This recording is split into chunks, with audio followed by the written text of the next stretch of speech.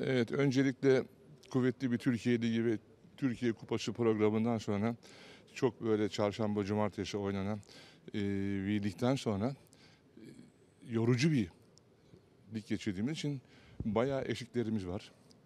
Fakat oturup bir karar aldık. Gençleştirme kararı aldık milli takımın. Ve uzun vadeli gençleştireceğimiz çocuklarla beraber yani burada 18 yaşında da 20 yaşında da 21 yaşında da 22 yaşında gençler var. Bir iki tane de abileri var onlara yardım eden. Bunlardan bir takım kurduk. Golden League'de en son şampiyon bizdik. Onu devam ettirmek istiyoruz ve bunu devam ettirmek isterken de grubumuz da çok güçlü bu arada. Söyleyeyim Portekiz, e, Beyaz Rusya ve Çek Cumhuriyeti gerçekten güçlü ekipler. Bunlar şu anda maç oynuyor. Avrupa Şampiyonası elemesi maçları oynuyorlar. Hepsinin beşer altışar tane hazırlık maçı var. Bir tek eksiğimiz hazırlık maçı yapamadık ama 25 gündür de kamptayız. En son Ankara'dan çok iyi bir kamp yaptık. Kendi tesislerimizde inanılmaz. Bu aradan da oradaki şef aşçımda teşekkür ediyorum. Bir de çok iyi baktı. Ee, inanılmaz bir kamp geçirdik. İstanbul'da da bu kampın devamından sonra maçlarımıza gideceğiz. Orada oynayacağımız maçlarda e, iyi bir tecrübe edinip Avrupa Şampiyonası'ndaki daha önce biliyorsunuz e, direkt katılma hakkı kazanmıştık Avrupa Şampiyonası'na. Oradaki şampiyon öncesi çocukları da bir test edip onları alıştırmış olmak istiyor. Çünkü gerçekten e, benim Türk erkek voleybolunda büyük hayallerim var, büyük rüyalarım var yani. Yani bu takımı Avrupa Şampiyonası'nda, Avrupa Golden League'de olimpiyatlara götürmek istiyorum yani. Dünya Ligi'ne gidip orada dereceler yapmak istiyorum. Bu çocukların yapacağına inanıyorum. Onun için buradayım. Yoksa benim şeyim yok. Ben gidiyorum, geliyorum. Ben 400'e yakın milli takımda antrenörlük yapan bir Türk antrenörüm yani. Ama bu son. Bunu gelip de bir yere kadar götürmem gerekiyor. Bu benim ideallerim içerisinde, hayallerim içerisinde. Bu hayalleri de bu çocuklardan gerçekleşeceğime inanıyorum. Çok iyi çalışıyoruz. Bu arada eee federasyonun inanılmaz ilgisi karşısında ben buranın en eskisiyim. Kaç tane federasyon yaşamışım, kaç tane tesis yaşamışım. İnanılmaz bir ilgi, sevgi.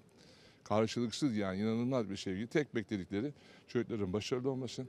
Hem sağlık açısından hem e, beslenme açısından hem tedavi açısından inanılmaz ilgi gösteriliyor. Çok seviniyorum bu konuda yani. Çok büyük sınıflar atlamışız ülke olarak. Ee, sonunda da başarılı olacağımızı düşünüyorum. Teşekkür ediyorum her şey için. Yani Golden League'in önemi şu. Golden League'de e, ilk ikiye girdiğin zaman Viyana'ya gidiyorsun yani. E, Dünya Ligi'ne katılıyorsun yani. Bizim amacımız o. Oraya biz girmek istiyoruz. Atalım oraya. Oradan çıkmayız biz girdiğimiz zaman. Bu takım çıkmaz oradan. Oraya girmek istiyoruz. Onun için de e, hem de birbirlerine alışıp ileride birkaç tane daha abi var buraya gelecek. Sakatlıklarından dolayı burada olamadılar. Aslan ameliyatta oldu. İşte Burutay aynı şekilde. Yaşin falan. E, bunları mix edip Avrupa Şampiyonası'nda ülkemize belirli bir yer edinmek istiyoruz yani. Amaç o. Bu milat burada başlıyor. Fakat geri geri dönersen böyle benim e, gençleştirdiğim 6. milli takım oluyor Ahmet takım. Hep ben gençleşiyorum, bana rastlıyor. Hep çocukları da hadi çocuklar bakayım artık şu tatile çıkın genç kardeşleriniz oynasın diye 6. defa gençleştiriyorum. Bu milat ama bu e, çabuk meyve verecek bir milat. Avrupa Şampiyonası'nda e, Avrupa Golden League'de başlayıp Avrupa Şampiyonası'na devam edecek. Ondan sonra da bozulmayacak bir jenerasyon. Yani e, varımızla yoğumuzla çalışıyoruz. Yani günde üç tane antrenman yapıyorum bazı gruplara. Çünkü teknik olarak onları bir seviyeye getirmek için özel antrenmanlar yaptırıyorum.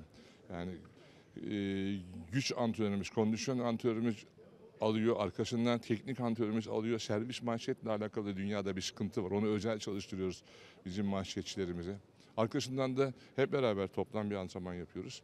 E, genç olunca biraz da böyle hedefler olunca istekleri artıyor. Artıyor. Tabii hataları oluyor, olmuyor mu? Bayağı acemilikler oluyor.